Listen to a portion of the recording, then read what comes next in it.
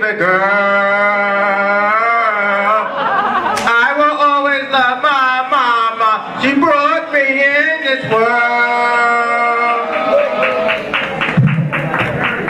Uh, uh.